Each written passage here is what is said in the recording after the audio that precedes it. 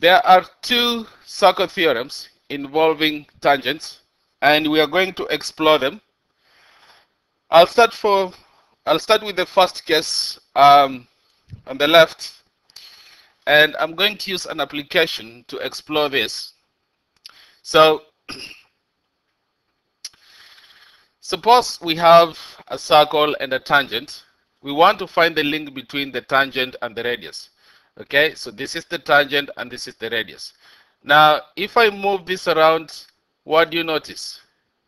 We can see that the angle between the tangent and the radius is always 90 degrees. This angle here is always 90 degrees, all right? No matter where you move these guys, they're always perpendicular. Okay, they're always perpendicular. So you can go ahead and say that the angle between the tangent and the radius drawn to meet it is 90 degrees. So the angle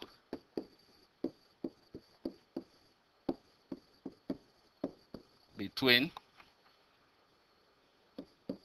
the tangent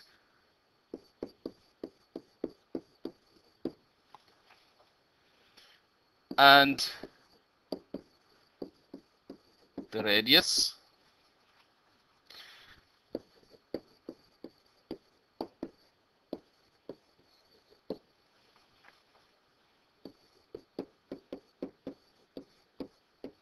So that's very important. The angle between the tangent and the radius drawn to meet it is 90 degrees. So this angle here is always 90 degrees.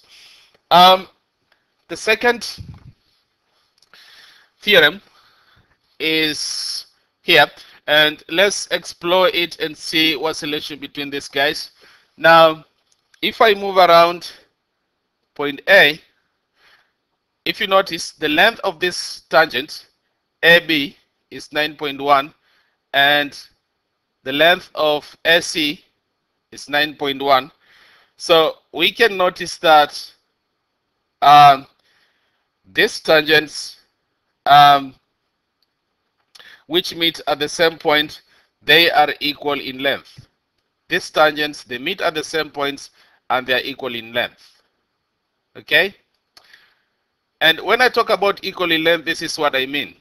I mean, if you look at the length of this tangent from this point to that point, let me use a different highlighter. Okay, this point to that point, and this point to that point, those two tangents, they are equal. And that's why I'm saying that the tangents which meet at the same point are equal in length. So tangents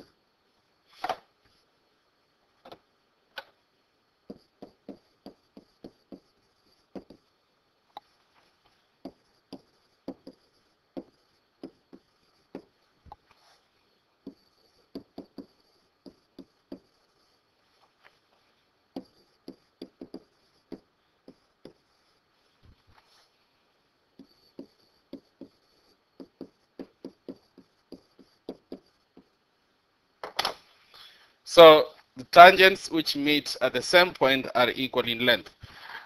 Let's now apply this in problem solving. So example one, find the size of the lettered angles in each of these circles.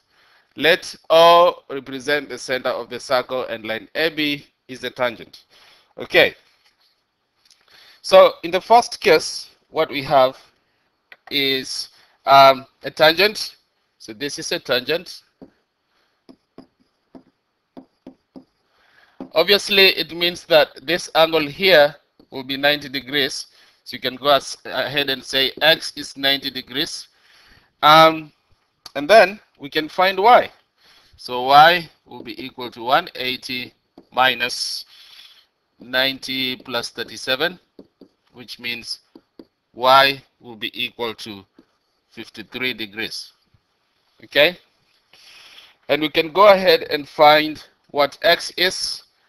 Um, remember, this is an isosceles triangle. So this is an isosceles triangle because this is the radius of the circle. And that will mean that x is 36. So x will be 36 degrees.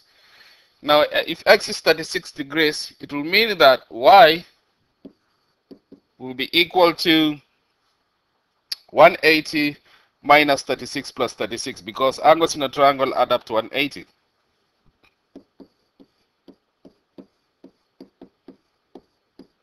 And that will be equal to 108 degrees. Now, if y is 100, so y is 180 degrees x. By the way, if you notice another thing is this is a tangent, which means, and this is the radius, this angle is supposed to be 90 degrees.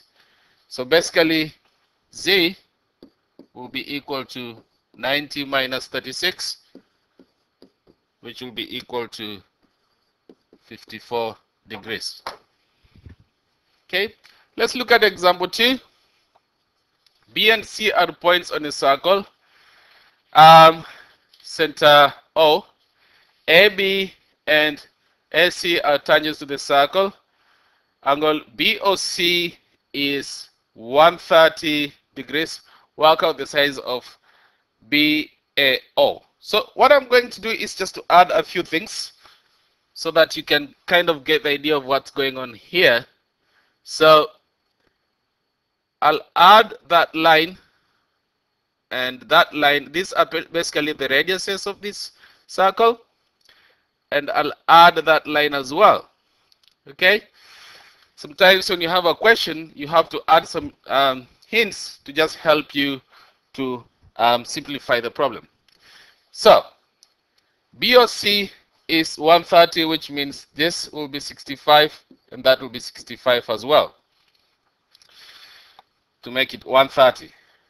And then um, another thing we can see that we know that this angle here is 90 degrees because a tangent and the radius they always meet at 90 degrees. So we can go ahead and find BAO. So angle BAO, BAO is this angle here. All right, that's what we want. So BAO will be equal to, um, and you can just go ahead and do um, 180 minus 90 plus, uh, 65, okay, to find BAO, and that will be equal to um, 25 degrees. So that's straightforward way of working out that question um, by applying those theorems. Example three, um, A and B are points on the circumference um, of a circle center O. PA and PB are tangents. So these guys are tangents. Angle APB is 86. All right, we have it there. Work out the size of angle marked X. So we know that we can find um, each of these angles. And by the way, each of these angles are equal because this is an isosceles triangle. So this angle is equal to this angle, if you notice. So each of those will be 180 minus 86 divided by 2, which will give us uh, 47 degrees. So each of this is 47.